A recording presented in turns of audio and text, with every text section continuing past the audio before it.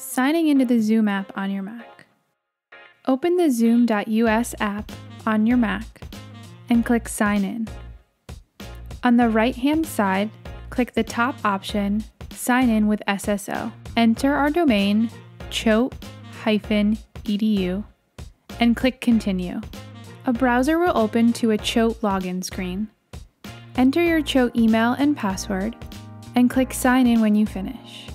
The app should open up at this time and you should be signed in. If you are all set, feel free to stop watching.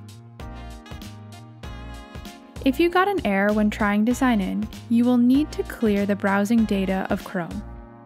Click the three dots in the upper right hand corner and go down until you see More Tools. In that menu, you should see Clear Browsing Data.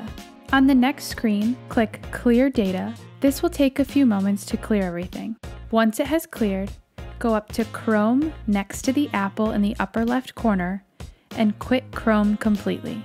You should go back to the Zoom app and see that our domain is still entered. Click Continue and sign in with your Choate username and password. You will most likely be asked if you'd like to open the Zoom app. Click Open Zoom.us.